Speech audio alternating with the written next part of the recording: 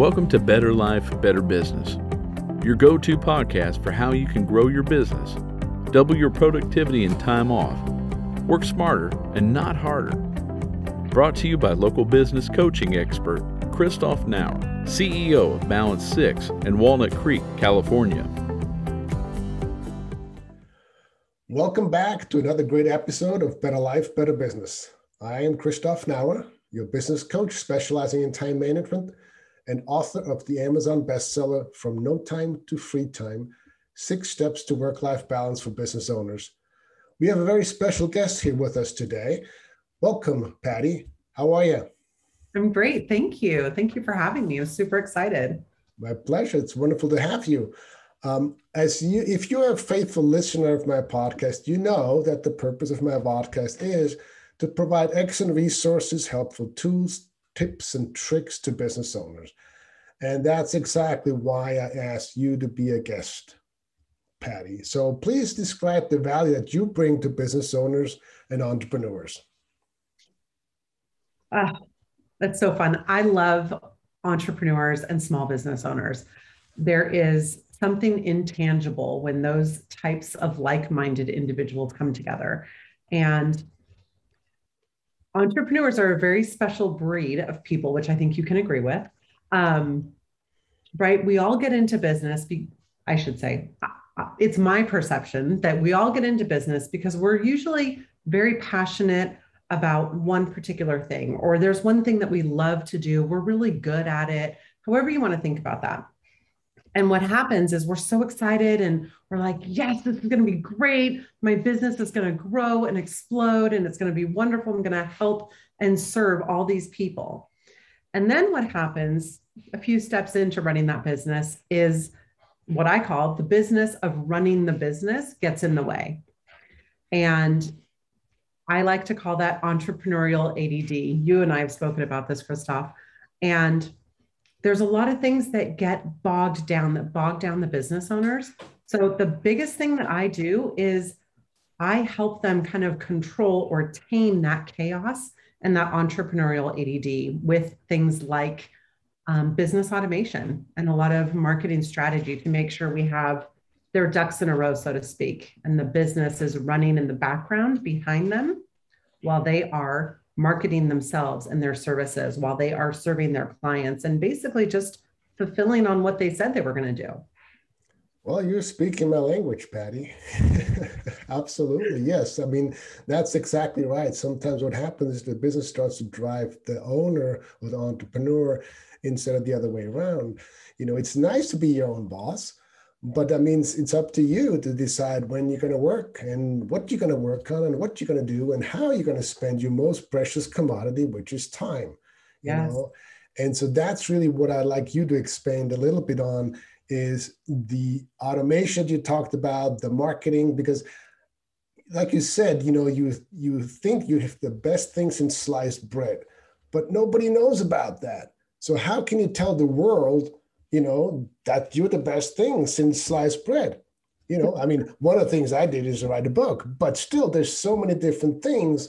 And this sounds like what it is you do. So tell us a little bit about how you do that and and how that works. Absolutely. Um, I think we can agree that there are, in a nutshell, like there are subcategories, right? But there's basically three components to a business there is marketing, sales, and fulfillment at the end of the day like those three main primary buckets or umbrellas if you will there are a lot of things that come under those of course. Um, but those are the three big ones. And typically what happens with entrepreneurs is they will be heavy on the marketing which is great. That's what we should do right? We're getting our name out there. We're going on podcasts or vodcasts. We're doing webinars training events. We're showing up on social media and so the marketing is what we need to do to get to the next step, which is the sales, right? Um, so business owner is killing it on the marketing. And then what happens is sales start to come in, which is amazing. That was the ultimate goal. And when sales come in, then the marketing drops off. So now instead of having a constant flow of new leads and energy around our business, that uh, bucket, if you will, has dried up. We're focusing on the sales And then once we close the sale, the next piece is that fulfillment. So when we're busy in fulfillment, both the marketing and the sales have dried up. So as a business owner, what we need to be able to do is, is keep all of these three components running at the same time. And that is very difficult to do if you are a solopreneur or you have a very small team. So that's essentially what I do. I run a marketing and sales agency with a focus on business automation. What does that mean? That that that whole phrase. Basically, what we do is we put the systems in place to ensure that we have messages and email marketing that is constantly being dripped out to our to our leads to our list hopefully you have a list um, or you're building a list because we need to be able to nurture those contacts especially in this online world of online businesses and and i throw into that like coaches consultants and service providers those are all basically in the online world and those types of industries people are not necessarily ready to hire you the moment that you come into their world or that they see you They're on not? social media. No, Really? Come on. You you just bust my bubble. Yeah. I try to compare. I think when we spoke, I, I mentioned this to you. Um, you know, it's not like if you're driving your car and all of a sudden your engine starts to smoke and you've got this big issue on your car, you have to find a mechanic that is like as close as possible. And it's pretty urgent, right? That's an urgent need. So you're going to find someone just right that moment and you're ready to hire them and make that exchange of services for money.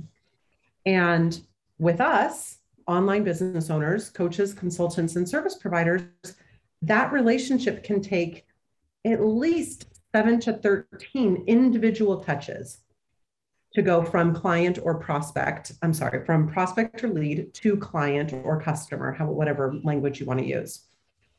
And, and that's a minimum seven to 13. So I like to throw some math in there, right? Let's just say most people in this industry, we don't need a ton of clients every single month because there's a service, right? Usually we need to interact with people. So let's say it's 10, right? 10 leads a month, really good, solid, hot leads that come into your business a month and we'll take the minimum of that seven to 13 touches. So the question is do you have time to manually follow up with those 10 leads seven times, 70 touches in one month? I'll ask you. Nope, most likely not. You know, and, and you, you're absolutely right. Yeah, it's the it's the follow up. you know, in my line of work, if there was no follow up, I wouldn't have any clients. You know, huh? very few clients, you know, um, sign up on the spot. I mean, I had I had a couple this last two weeks, two yeah. weeks, um, but most of them not. You know, and that's the whole idea. Of course, you being in marketing, you understand that better than anybody else. We market to the now clients, the now buyer, and mm-hmm. ninety-five percent of the people are future buyers. Yep. And so, why we don't focus on the ninety-five percent, I honestly don't understand. You know? You're hundred percent correct. And, One. and so, yes, and I think what you said about these three components, you know, we need to leave all three faucets open. You know, we can adjust them. You know, if there's too much coming in, we can turn it down a little bit. But if we close them all the way, then at some point we we have nothing coming in.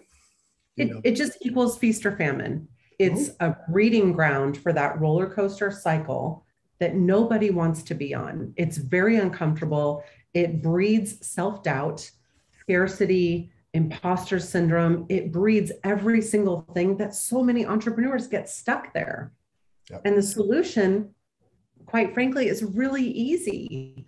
Like we make it much more difficult than it needs to be.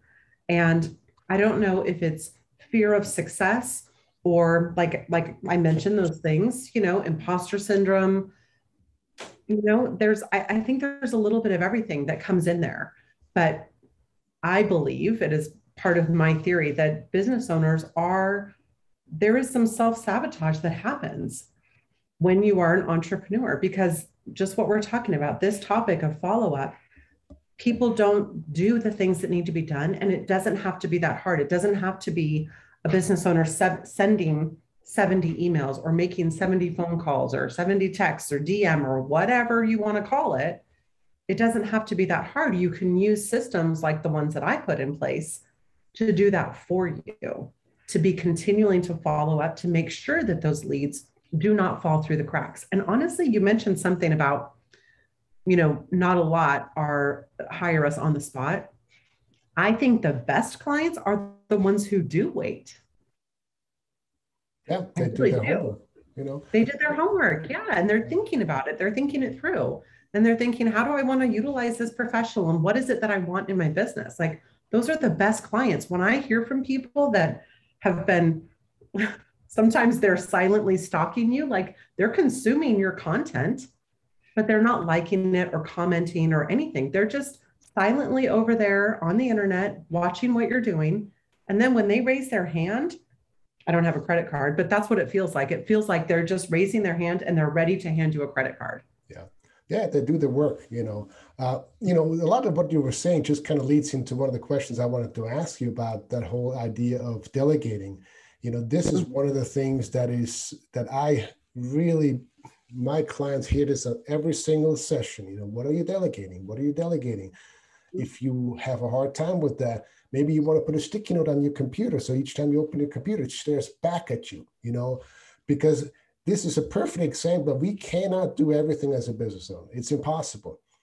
Correct. But so many entrepreneurs feel like, oh, I can't afford it, or I can't, whatever. They have, you know, excuses. So, yeah. What role does delegating play in your own business, Patty?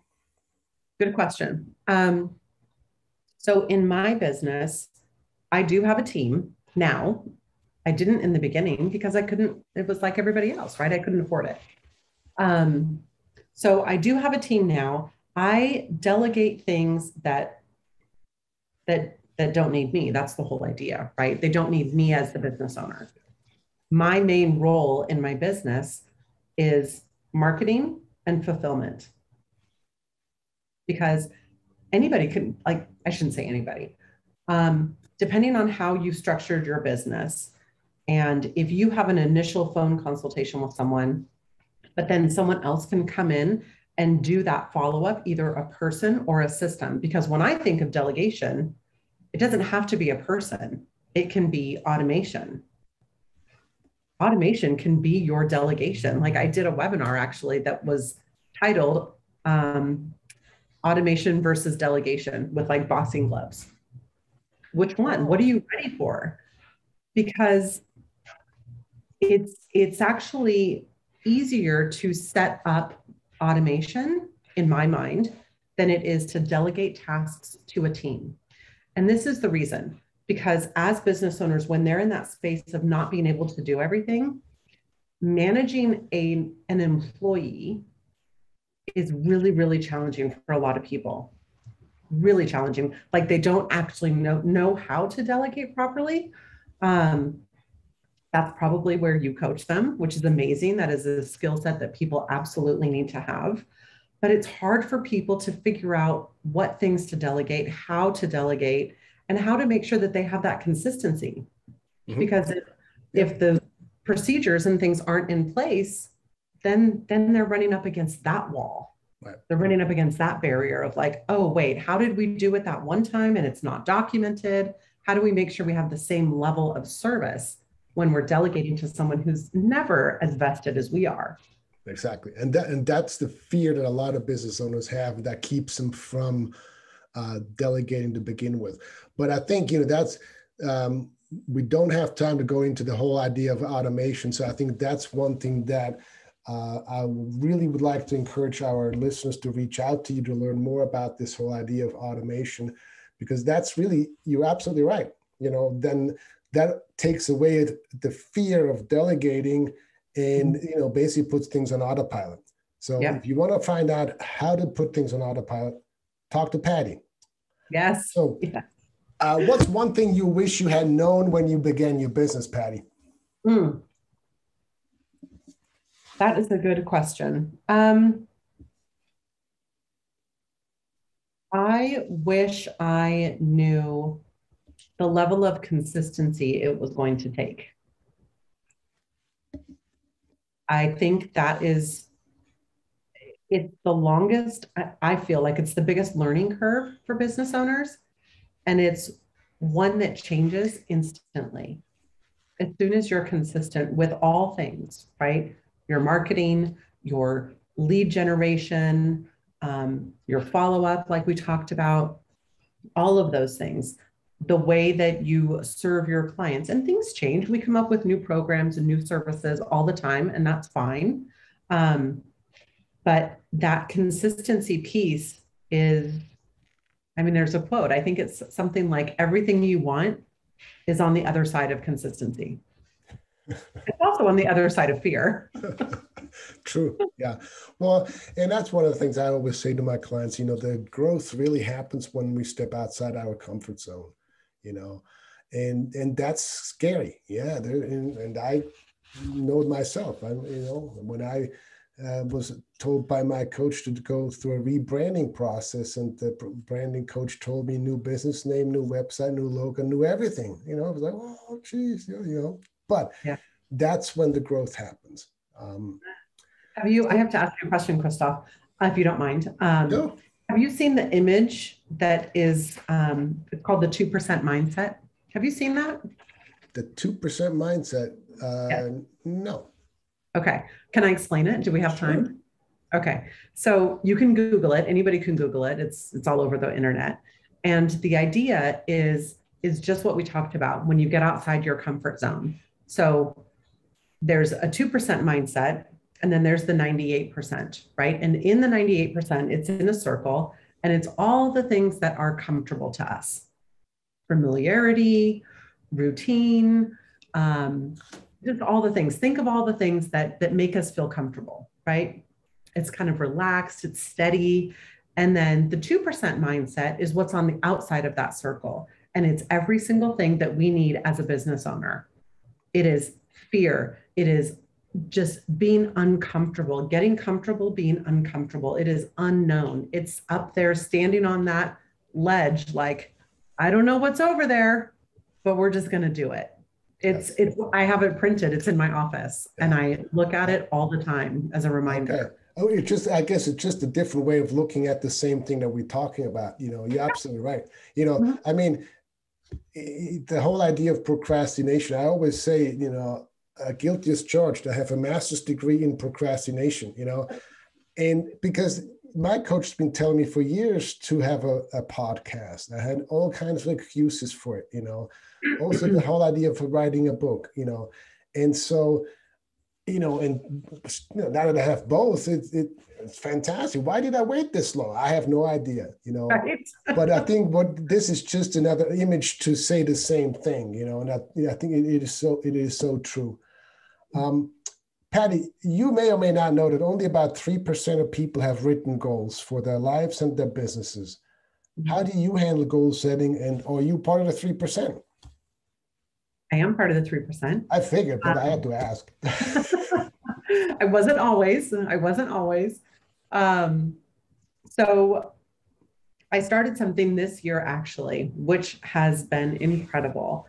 And I I'm a gratitude person, so I am I'm always thinking about gratitude in in whatever capacity that means, whether I write it down or I just say it, you know, kind of in my morning or evening routine.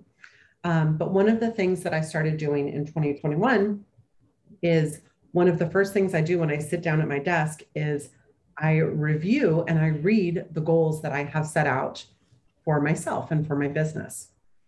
Um, out loud, quiet, it doesn't really matter. Um, but I read them every single day. So I'm constantly reminding myself of them. So that is an absolute game changer. And then the other thing is I map out, um, I do a big goal setting at the end of the current year for the next year. And then I'm always reviewing them. So I kind of have my big overarching goals and I will break those down into smaller pieces. So whether that's quarterly, monthly, weekly, that doesn't really matter, but I'm always aware of them and reviewing them. Well, that's absolutely fantastic. I mean, wow, I think you were the only person I've talked to so far who looks at them daily. I mean, I do weekly, but that's that's incredible. And you're right, it is a game changer. You know, really is. Uh, wow, that's fantastic. Um, so we are getting close to ending this. I wanted to ask a couple more questions. Uh, who are some of the people who have been influential in your life and in your business that you can remember? In my life and my business, both? Well, or you can pick one or the other. um, I will, well, I'll say my mom for my life. Um, because she's passed away. So I can't go into too much detail or I'll end up I'll end up in tears over here. Um, but my mom for sure, love her. And um, in business, gosh, so many people, honestly. Um, so many people. So I will I'll start with my dad. My dad has always kind of been like my business uh, thermometer, if you will. And, and even before I started my own business, just when I was changing jobs, I would always talk with him about business or the job that I was doing, changing to. Um, and then I had some great mentors. I used to work for Regus Business Centers, which is a international company. They lease. Um, are you familiar with Regus Business Centers? Not familiar. I've heard of the. I've heard the name, but that. Okay. Huge company. Um, they lease office space like by the month, and I had some wonderful mentors in that company um, my very first client, which was kind of an accidental client, I started working with him as a virtual assistant. He was definitely a big, um, big inspiration. He had his own company and um, gosh, there's so many. I could just pull from everywhere. I mean, no, family, okay. like I, mean, of, I think of, you said the key word in there is mentoring, a mentor. Mm-hmm you know and and if you want to run a successful business you have to have mentors in your life you know and so yeah. For me it's brian tracy. I was certified by him as a time management master and this guy is just absolutely fabulous you know. So i just wanted to find out you know who are you? But i think the the key word that you used in the mentors you know because mm-hmm. that's really critically important.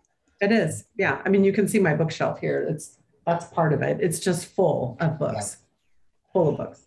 So, thank you so much for taking the time to uh, talk with me. Um, now, at this point, I would imagine that the listeners want to figure out how to get in touch with you. Um, so, how can they reach you? Do you have a special offer for them? Oh, great question. Um, so, they can reach me. I am most prominently on LinkedIn and Facebook as Patty M. Rogers. So, P A T T Y, my middle initial M, Rogers, R O G E R S, so they can find me there. And um, same thing, my website is actually getting redone. Um, so we we talked about your rebranding, and it's it's not up yet, but Patty M Rogers will be completed very very soon. You can go there.com, and a special offer. Honestly, I would. I am a big. Um, I'm a big fit person. So if if anything that Christoph and I talked about today sparked some little thing in the back of your mind or like, ooh, maybe I should think about automation or how I think about the delegation in my company, any of those things, the lead follow up, just reach out. I'm happy to get on a phone call. Um, honestly, with anybody that is listening to this podcast. So I will make sure that you have the link because that'll be easier than me trying to spout it off to book a call. I love chatting with like-minded individuals, like I said. So certainly let's book a call and, and chat about it and see if, if there's a fit. Perfect. Well, thank you so much. Uh, really appreciate it. So thank you for sharing your expertise. And I think if you're at all curious about automation, you know, and hopefully by now you are, please reach out to Patty. Uh, many thanks to all of to all of our listeners today for joining us. If you would like to learn more about my services uh, or want to get my Amazon bestseller, please be sure to visit my website, balance6.biz, balance the word, the number 6.biz. Until next time, have a better life and a better business. This week's episode of Better Life, Better Business is brought to you by CA&C Video Productions. Since 1985, CA&C Video has been providing live streaming, event production, and analog to digital transfer services. They capture those life changing moments, preserving your history for current and future generations. Because your history matters. Visit their website at cacvideo.com. Thank you so much for your sponsorship. That's all for now. Thanks for listening to another episode of Better Life, Better Business with business and time management coach Christoph Nauer with Balance 6, the leading business and time management company in Northern California. Visit them at balance6.biz.